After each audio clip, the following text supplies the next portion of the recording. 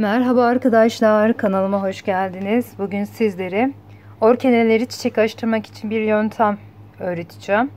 Ayrıca hastalandıysa, mantar hastalığına yakalandıysa bunlar için ne yapmamız gerekiyor? Onlar hakkında bilgi vereceğim. Mantar hastalığına yakalandığını yaprakların sararmasından anlarsınız arkadaşlar. Tek tek dökülüyorsa yapraklar sararıp tek tek dökülüyor ve çiçek açmıyorsa bu mantar hastalığına yakalanmış anlamına gelir. Ve böyle bir durumda da ne yapmanız gerekiyor? İşte bunları anlatacağım sizlere. Şurada kozalaklarım var. Bunları bir alayım. Hem köklerini daha iyi görmenizi de sağlamış olayım. Arkadaşlar benim bu orkidem köklerinde çürüme olmuştu.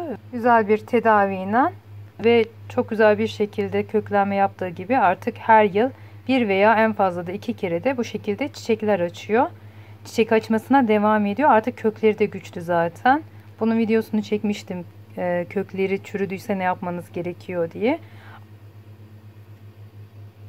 Bakın köklerini görüyorsunuz. Şöyle çevireyim. Bakın arkada da yine bir orkidem daha var.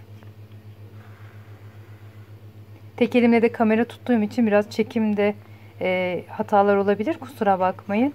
Sizler benim söylediğime dikkat edin. Arkadaşlar bu görmüş olduğunuz küçük orkide de aynı şekilde köklerinde çürüme yapmıştı. Kök kalmamıştı artık. Bunu da köklendirme yaptım ve içerisinden tekrar yaprak veriyor. Ve ne kadar çok e, köklerinin büyüdüğünü de görebilirsiniz. Görüyorsunuz değil mi? Her tarafından artık kökleri bayağı bir şekilde büyüdü. Kök yeni kökler yaptı. Bunu da yapmasının en büyük sebebi arkadaşlar e, muz kabuğu. Nasıl yapmanız gerektiği hakkında yeni videosu var kanalımda. Bulamazsanız mutlaka sorun linkini atayım. O şekilde de e, yaparak bu şekilde ben kökleri elde ettim. Sizler de yapabilirsiniz. En azından bir deneyin. Ben sonuç aldıysam inşallah sizler de sonuç alırsınız. Bakın burada da önceden çiçeklenmişti. Onun dalı var. İnşallah yakın zamanda tekrar çiçeklendiğinde görmek nasip olur. Şöyle önceki yaprağına bakın arkadaşlar. Ne kadar küçük. Yeni çıkan yaprakları ise daha uzun, daha büyük. Buradan da zaten e, ne kadar hızlı ve güzel tutunduğunu da görmüş oluyorsunuz. Tekrar şöyle çevirelim. Arkadaşlar bol bol çiçek açmasını istiyorsanız hemen konuma hızlıca da geleyim. Ee, öncelikle yapmanız gereken kanalımda bunları zaten paylaştım. Benim karışımlarım var doğal karışımlar. Yumurta kabuğu ve muz kabuğunu ikisinin suyunu birbirine karıştırıp eğer ki orkidenize verirseniz veya da başka çiçeklerinize de verebilirsiniz. Bakın arkada dikenler tacı çiçeğim var benim.